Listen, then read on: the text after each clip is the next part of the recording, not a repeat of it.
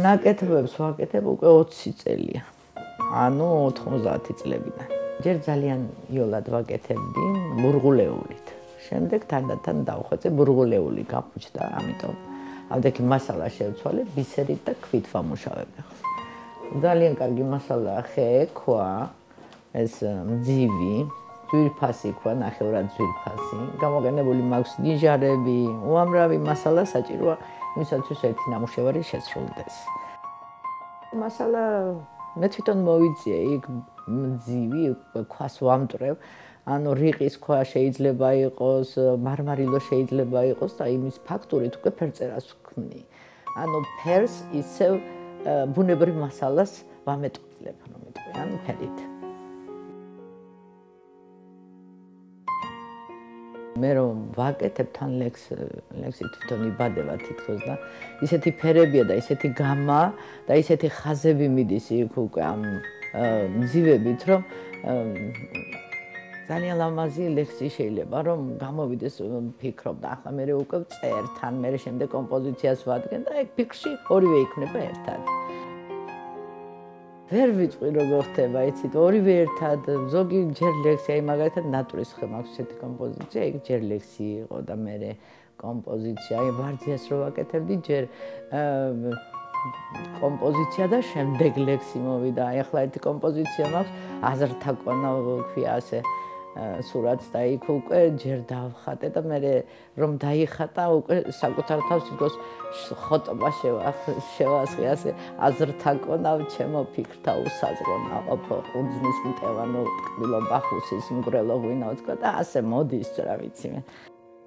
მაგალითად ახლა ერთი მაქვს ვულკანი ეწოდება ვულკანს რადზინავს საღათას ძილით აფური აქ და ქვესკნეში მაგმა? ასისინა ცეცხლისენები ადექი ჩამოხკრა ცხოველმა შამმა. ამ ჯოჯოხეთში მომწყინდა ყოფა ზიამამაღლი მზე შემადუღე. გასივდა გული ბოღმას ვერ ვიტევ შენი სიც გამაგიჟეთ აი ეს ყველაფერი ფერებით ჩანს გამიგეთ და ხაზების მიმართულებით პირდაპირ ვიწყებ ნამუშევრის კეთებას. არა მაქვს მე ესკიზი. ან შეიძლება ვიღაცამ თქვა შეკვეთა მომცეს და ფოტოდან მე გადავიღო პირდაპირ ის მაგალითად როგორც შატილი მაქვს გაკეთებული დოქსე, პირდაპირ ფოტოდან გადავიღე სივრცობრივი ხასიათი მივეცი უკვე შატილის გამოსახულებას. ვასწავლი ჩუღურეთის რაიონის მოსწავლე ახალგაზრდობის სახლში. და კიდევ ცაბაძის პირველ ნომერში დინამოსთანმა იქვასწავლე კიდე იგივე მოსწავლე ახალგაზრდობის სახლში. პირველ რიგში ბავშვებს დანახვას ვასწავლე.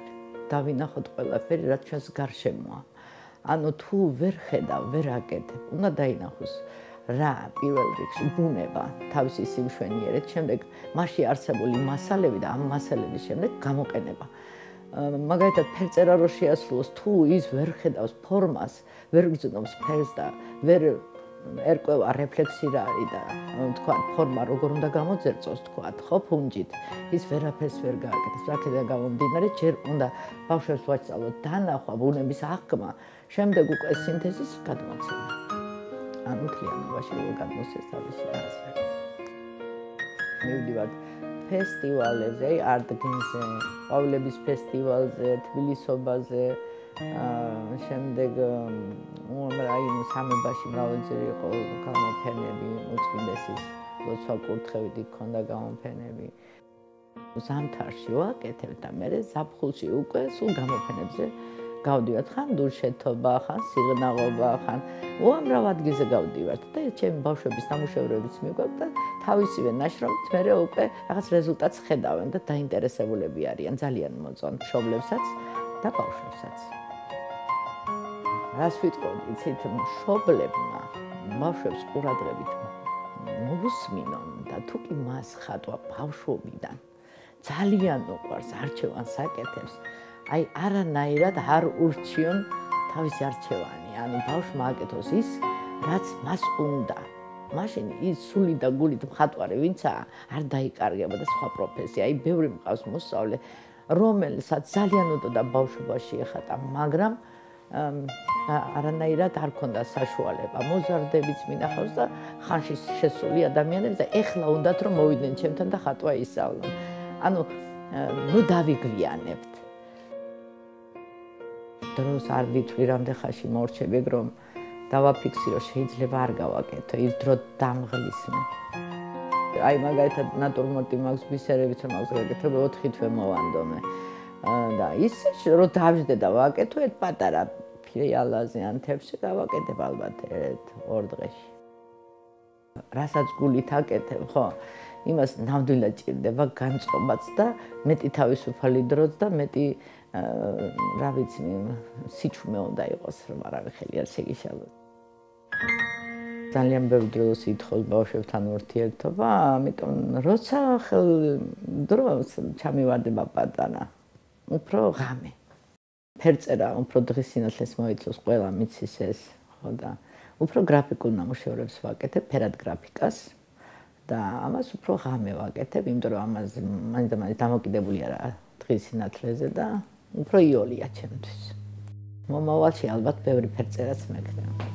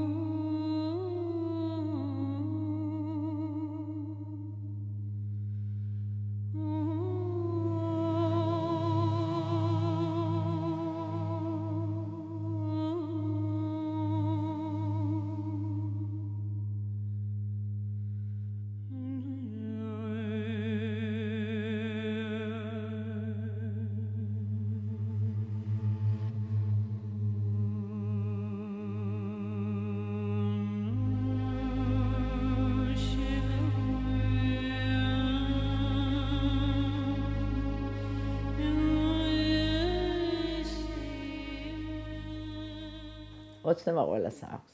კონდეს ძალიან ბევრი დრო. უამრავი ზეთი საღებავი, მინებიანი დიდი დარბაზი და თავისუფალი ვიყო ყველაფრისგან. აი ეს არის ოცნება. რომ ეკუთვნოდეს საკუთარ თავს.